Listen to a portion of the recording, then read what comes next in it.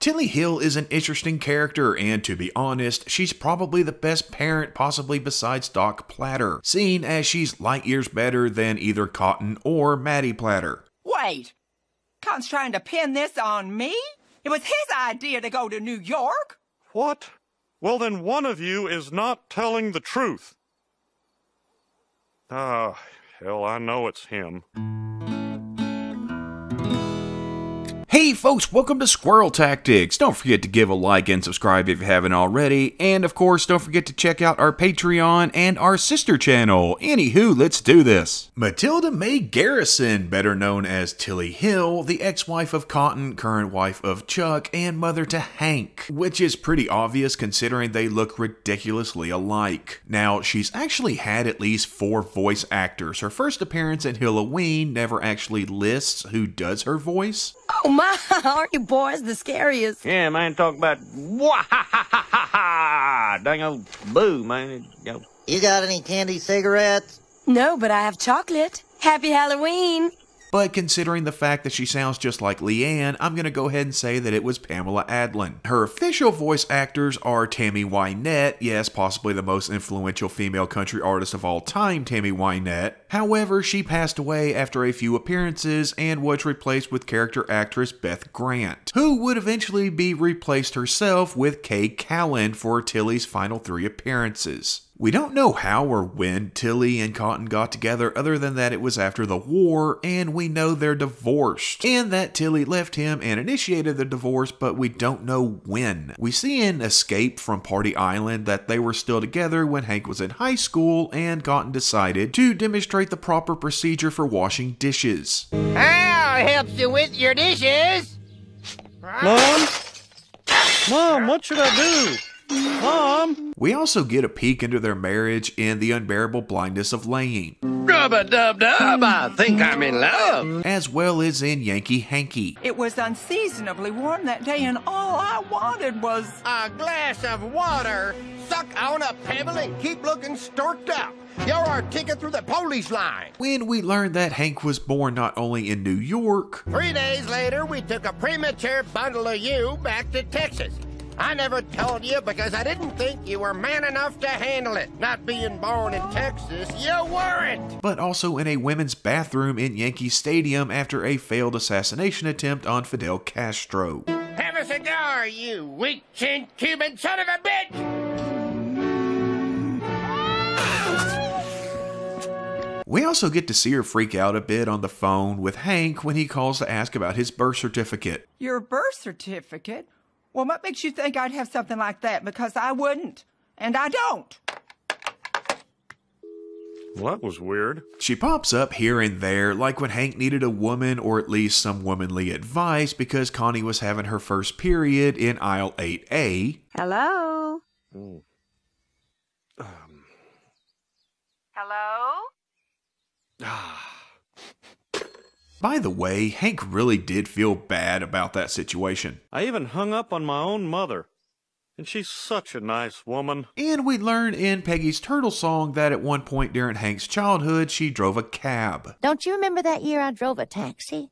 No. Oh, wait a minute. I remember you had a yellow car when I was little. Her first full on appearance, other than a flashback, is in The Unbearable Blindness of Lane, where she makes Hank uncomfortable at the airport. Oh, Hank, it's so good to see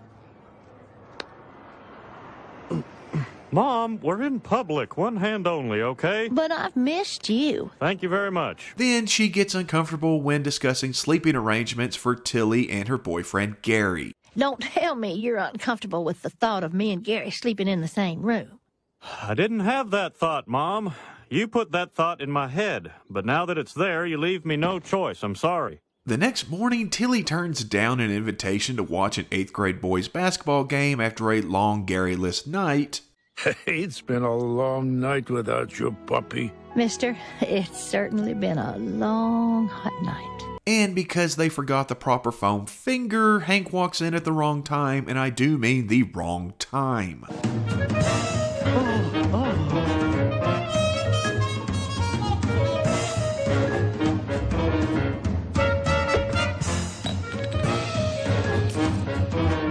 This, of course, makes Hank go blind, and I don't think any of us can really blame him for that.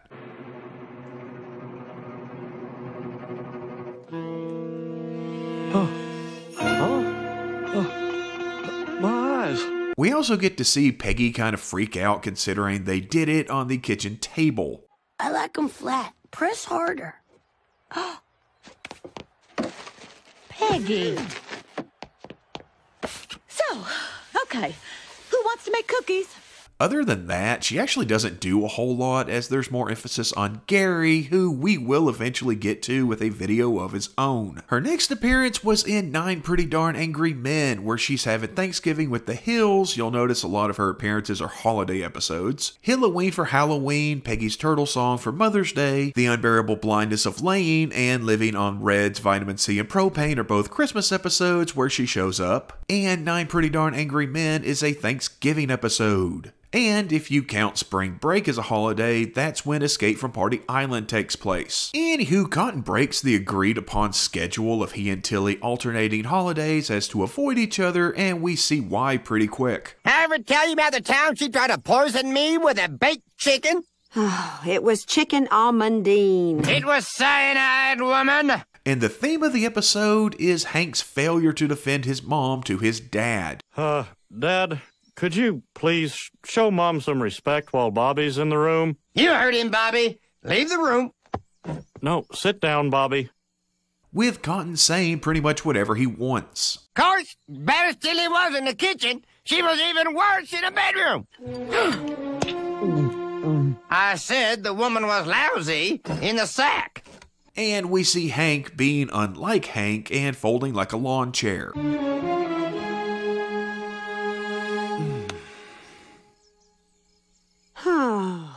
Tilly and Didi end up having a discussion about it, which I guess the two could easily bond over having to deal with Cotton. I'm sorry about all those things Cotton said about you. It doesn't mean anything. He just doesn't like you. Oh, I wouldn't mind Cotton's rantings if Hank would just stick up for me. Well, if it makes you feel any better, Hank doesn't stick up for me either. His own stepmother. The two of them end up walking in on Cotton going on another tirade, this time during a focus group and in public. They said the ladies' room was the second door on the right, so this must be it. I'll tell you who get my vote. The guy who figures out a way to strap an old woman on an old mower and run them both off a cliff. Oh, he's doing it again. And in public. And she sees Hank finally stand up to Cotton about talking bad about her. If you ever talk about my mom or my mower like that again, you're not welcome in my house. Amen. With Cotton giving a typical Cotton response. You got a fat neck, boy. Well, I'm not sure if there is a God or heaven, but one thing I can tell you is your daddy's going to hell. But Tilly is rather happy about this going down. Have you thought about what you want for Christmas, Mom? I don't need anything from you, Hank. You've given me enough already. Also, even though it's a holiday episode and you figured they'd spend the holiday together, there's no Gary in this episode, nor is there even a mention of him. Same with her next appearance, Escape from Party Island, where she's leading a trip to Port Aransas in order to visit a museum of miniatures. Hank doesn't freak out when she gives him more than a handshake as a greeting, which is kind of odd. You know, you've still got four hours of driving before you get to Port Aransas. I'm not sure I want oh. you. And she apologizes for being later than expected. We stopped at the pancake house, and one thing just led to another. Blueberry pancakes mean blueberries in the pancakes, not buttermilk grill cakes with blue sauce on top. They brought you new ones. That's not the point. Before introducing her friends. This is Lillian. She's delicate. Pleased to meet you, Lillian. That was much too sudden. We learn in this episode that Tilly turned to her miniatures as a way to cope with her home life. I hate miniatures. I've hated them since I was a kid. Mom only took them out when she was heading into a funk, like between the time I was 10 and 14. Hank decides to drive them because he just doesn't trust Tilly on the road with a van, even though she made it all the way to Arlen from Arizona just fine. Enjoy your trip to the miniature museum, Hank. Hope you can fit inside. and the women in her group aren't exactly the easiest to get along with, but Tilly tries to play peacekeeper. Hank, just apologize to Delia. But I never said. Delia gets a little out of sorts when her blood sugar falls low. Otherwise, she's lovely. Here's a piece of hard candy, dear. Mm. And they do end up making it to the island in one piece. Look, everyone, Port Aransas. It looks like a miniature island. Oh, it's a shame it has to get bigger. I want to remember it like this. They get a start bright and early the next morning. Oh, hurry. We're going to be late for the museum. It's not even 5 a.m. That kind of attitude is not going to get you ready any faster. And we see that Hank just can't win when they get lunch. Six cucumber sandwiches, please. Uh, I'll have the hamburger sandwich instead. The cucumber sandwiches are delicious here. I don't like cucumber. I apologize for my son. Come on, Mom, you don't have to apologize for me. Apparently, I do. Tilly and Hank have a conversation about the miniatures and how Tilly thinks they're happy because they know they're home. Don't they look happy? They like it here. Huh. Mom, those are just glass. I know that, Hank. My point is, they're from the island and they like being home. This distresses Hank because it reminds him of how his mom acted when he was younger. Uh, you're not falling into one of those funks, are you, Mom? Because I haven't seen you, uh, socialize with your miniatures since, gosh, since you were married to Dad. As they head back to the museum the next day, Tilly shows a little naivety. Oh, look at this crowd. That museum is going to be a madhouse. And then a lot more naivety. But hey, she finds herself a unicorn. Lots of people are apparently looking for those. Mom, that fella asked you to show him your high beams. Now, do you even know what he meant? Of course I do. I've been driving longer than you. No, Mom, what he meant was. Oh, Hank, look, a unicorn. I have just the little nook for you. Oh, yes, I do. Since spring breakers have taken over the town, Hank decides it's time to leave. There, you're packed. But we haven't seen the Glade of Elsinore at the museum. Forget about the museum. We've got to get off this island before they run out of beer and start rioting. But on their way to the ferry, Tilly realizes that she forgot her unicorn. My God, Hank, stop. Mom, I told you, I will not. Hank, stop this van. What is it? Are you okay? No, I'm not. I'm not okay at all. I've left my unicorn. And she argues that she has to go back for it because of its rarity, like the real life version. We have to go back for it. We'll miss the ferry. I can't. Hank, tiny glass unicorns are as hard to find as a real unicorn. I can't leave without mine. She and Hank argue over the unicorn and her love of miniatures, which leads to possibly the best line of the episode and Tilly getting out of the van. Now I've had enough, Mom. Forget the damn unicorn and all these stupid little dolls from when you went weird. Oh, Delia was right. Hank, you are impossible. Which one of you is Delia? She is. I could commit you like that. Hank goes back to the museum looking for her, but ends up having a conversation with Lyle Neff, who's not a real person, by the way. And this opens Hank's eyes up just a bit. Women come in here all the time and they are sad and they are lonely and they are frumpy and they tell me how my tiny, individually handcrafted investment grade art is the only thing keeping them sane. Do you understand? Does that sound like your mother? He finally accepts that the miniatures were a way for Tilly to cope with her life. So, uh, so this little glass crap really helped her out, huh? Huh. I guess I owe someone an apology. Accepted. Tilly is in the gift shop where Hank finds her, apologizes, and gives her a gift. Uh, it's the Los Angeles International Airport carved in a walnut shell. Oh, look at the detail. Don't worry, little puppy. Someone's coming to claim you. But luckily, they're able to make it to the ferry and head back home. Look, everyone. Port Aransas.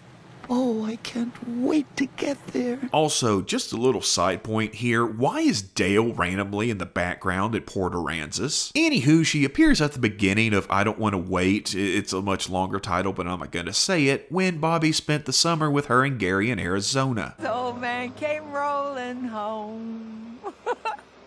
this is my place, Bobby. Home sweet home. Building 42, living space K. In case we get separated.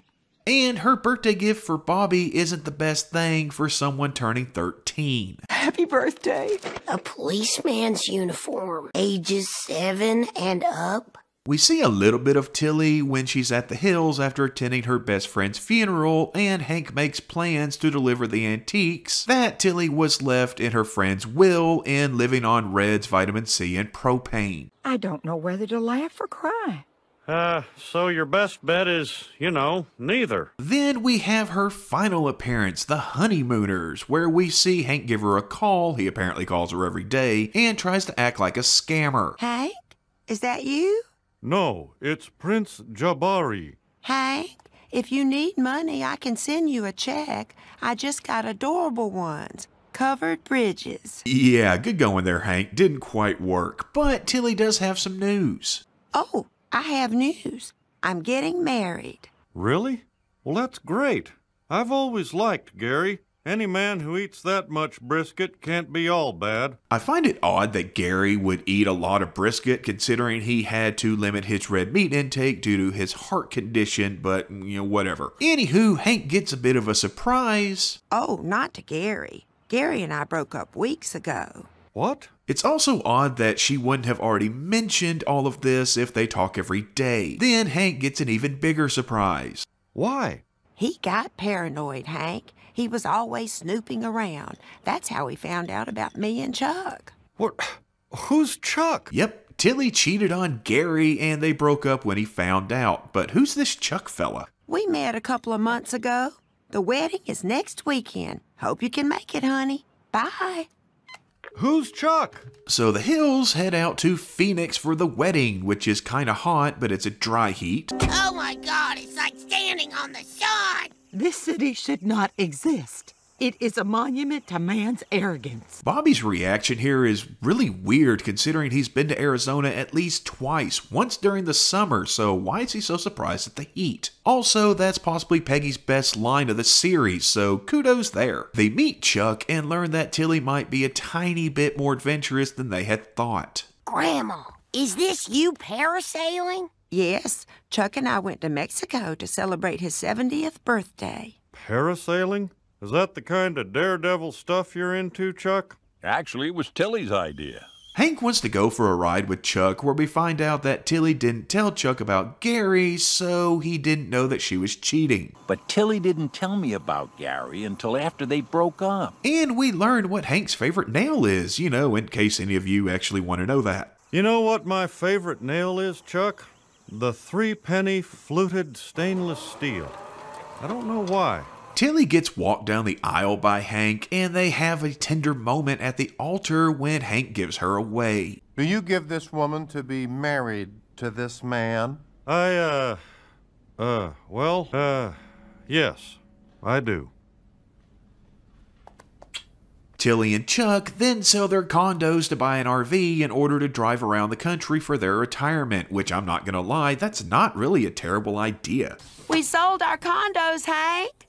We're going to spend our golden years zigzagging across the country. Woo! But Hank doesn't like it and he blames Chuck, and yeah, Dale does not help the situation at all. You're right to be scared, Hank. RVs are a one way ticket to meth addiction and KOA sites where the law has no meaning. Tilly is about to enter a world that she cannot change, but will change her. RVs and meth. Interesting. That kind of reminds me of something. Anywho, the Hills visit the RV for dinner, and we see that maybe getting married quickly and living in close quarters constantly might not be the best thing for Tilly and Chuck. Welcome to our home. Would you like the grand tour? Not so grand. This place makes my old one bedroom condo look like the Hearst Castle. Not here, not now. We see even more of this during Chuck's prayer. Thank you, God, for your bounty, which we are about to enjoy, and for protecting me and the other motorists from my wife's erratic driving. This RV is clearly too much car for her. We were all over the road. Amen. Message received. Potatoes, Mr. Slowpoke. And the two start to argue over their driving skills, which is really an argument over their differences in lifestyle preference. I'm a defensive driver. You should try it sometime. I like getting out of first gear. You should try that sometime. Yep. Potatoes. Chuck is much more easygoing. This thing doesn't exactly stop on a dime, Tilly. Wow, look at that. You're showing some emotion. I thought I'd married a piece of driftwood. Emotion? Is that what led you to flip off that trucker? He chased us through two mesas. Whereas Tilly wants to push the envelope. She wants to live life to the fullest, and considering what she went through for all those years with Cotton, yeah, I kinda get it. Chuck, it has been two weeks. Admit it. You need a prescription. Not everyone's libido is the same. They keep on arguing. Well, now we can drive to Hearst Castle. Are you kidding? The Exxon Valdez here only gets three feet per gallon. We'll be lucky to make it to the nearest White Castle. And Hank has a talk with Chuck where he learns that the RV was actually Tilly's idea and that she's not quite who Hank thought she was. Mom never mentioned wanting an RV. Your mom has something of a wild streak, Hank. It's part of why I fell for her. The parasailing, midnight swims at the condo, Uggs. I just wish Tilly and I could get our old life back. Hank, Peggy, and Chuck sit down and decide it's best if they sell the RV and buy a local condo, but Tilly is not on board, especially considering the fact that they decided all of this without her input and decide that they're going to tell her what to do. And you're part of this? I think it's for the best. Well, I don't. And I'll thank you all to keep your noses out of my business. Now, if you'll excuse me, I'm going to my RV. You know, it's moments like this that really remind me how alike Peggy and Tilly are. You could certainly say that Hank married his mother. She goes back to the RV and kicks Chuck out for the night. Honey! Your pajamas and your weird pillow will be on the lawn. It's not weird. It's memory foam. But the next morning, Chuck has a plan to get back into Tilly's good graces and the RV. I haven't known your mom long, but I know she can't stay mad when she's eating poached eggs. Toast points. You are pitching some woo, Chuck Garrison. But Tilly and the RV are both gone, seeing as Tilly decided to go on her own adventure. Jackass. She ends up stopping to grab a bite to eat, ordering her dessert to be brought out before her meal. I'll have a tuna melt and some strawberry rhubarb pie. Oh, but bring the pie first. I like you. You're a hot ticket. And we see a little bit more of her naivety. If you're heading out to see the wildflowers off Route 9, make sure you have four wheel drive. The access road is bumpy. Oh, yes. I've got four wheels.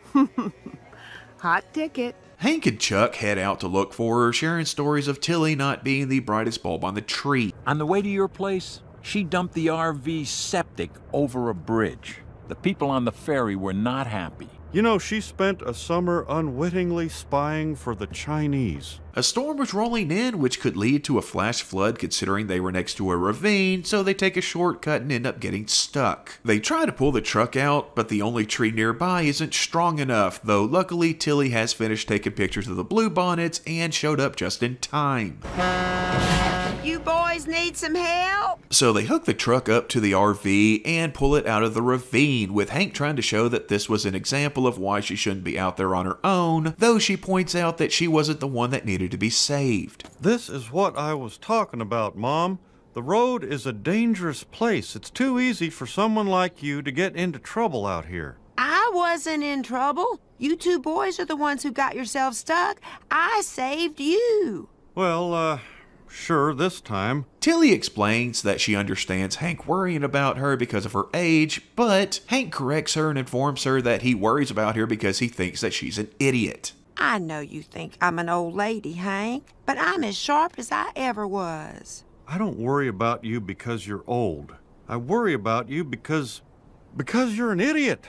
What? And he gives a few reasons why he feels that way, including her sending gold to a guy on TV. You make stupid decisions, Mom. You married Cotton. You started dating Chuck before you broke up with Gary. You sent your gold to some guy on TV. I'm sick of it. Tilly is shocked at Hank's opinion and for how long that he's felt that way. Have you always felt this way? Well, just maybe for the past 30 years or so. Huh. But she sticks to her guns based off of what she wants in life. You know what? Maybe you're right. Maybe I am an idiot. Who cares? I do. When you make a mistake, I have to pick up the pieces. And then she gives a pretty good speech about how she can live her life the way she wants, which is true, and that the consequences are hers to deal with and not Hank's. No, you don't. I want to live on my own terms, Hank. I want to have fun while I can, let the pieces fall where they may. Some things will work out well, some won't. At least it won't be boring. Tilly and Chuck make up after he says that he accepts who she is no matter what. We can be at the Mark Twain Festival by sunrise. Don't worry, Hank. I'll be okay. And the last we see of Tilly, she and Chuck are heading to Sulphur Springs for the Mark Twain Festival, which is not a real thing, by the way. Sulphur Springs is a real place, but they don't have a Mark Twain Festival. All the while towing Hank's truck behind them because it's still attached. Wait, no, no, no, my, my truck! Idiots.